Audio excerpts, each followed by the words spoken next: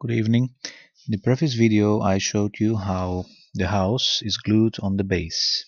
The base is made of out of cardboard and there is a little bit of uh, raised level in order to be able to install some terrace and paved road which I already cut to size and sanded. It's from an old furniture piece of furniture and I will glue it into place after it is carved. We still have to carve the stones. I give, gave it already a start, as you can see.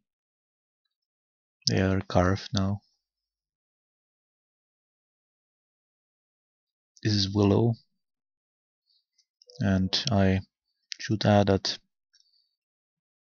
plastic can't replace the charm of a real carved road and if you can see my finger you know how small this is.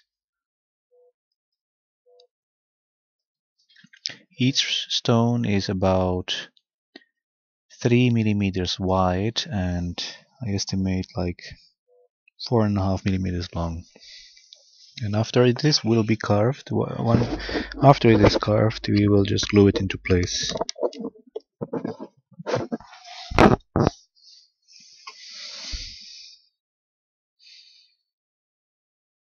like that. So what I did is I sanded the poplar it's poplar which is a really a precious wood because it is very gentle it can be carved easily. The first thing I did was I traced the lines with a pencil.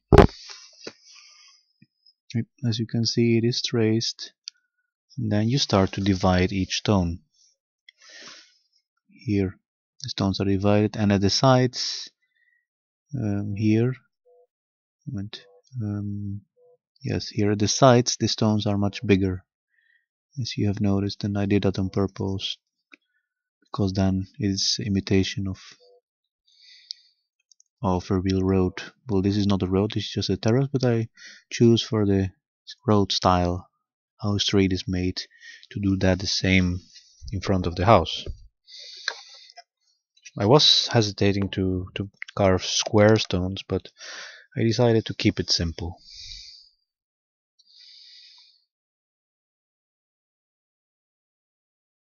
And the carving itself is nothing more than just cutting chips out of the wood. And you start to make perpendicular cuts you make a perpendicular cut.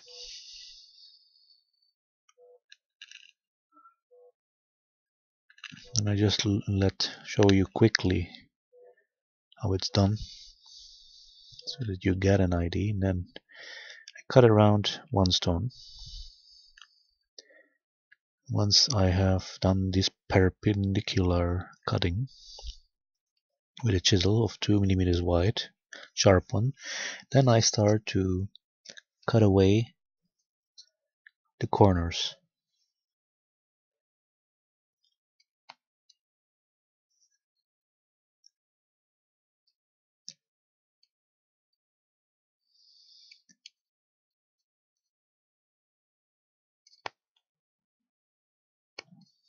And from the other side I do the same two corners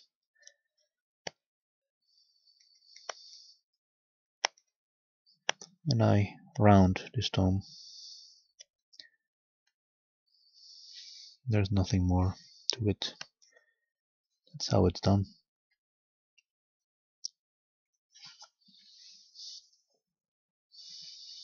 We have our stone here.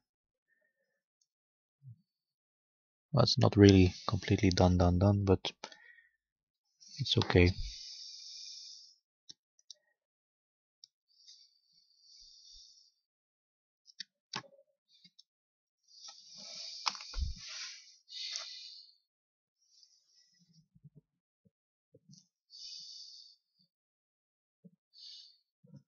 And so uh, I did all the stones.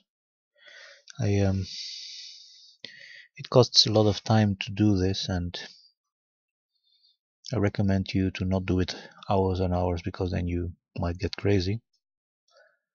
But you can do it every day like a little bit after work.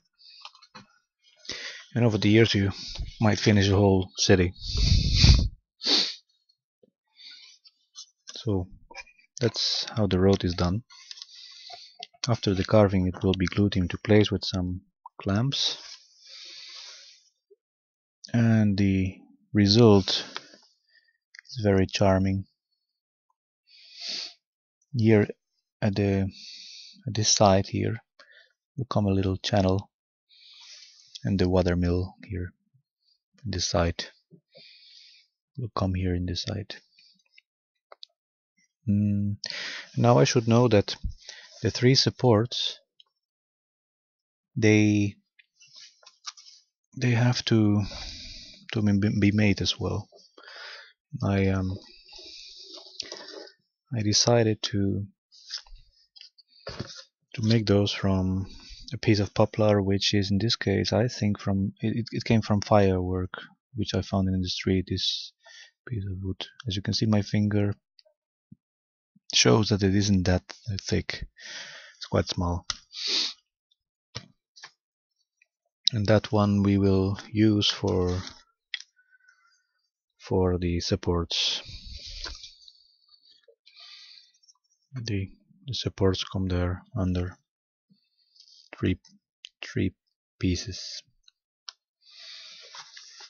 And we need a clamp for that and I I will look for a clamp and show you that in the next video how the supports are done because before we finish the carving we should already know where the support will be glued because on the spot where the support is coming we can't carve because then it won't hold.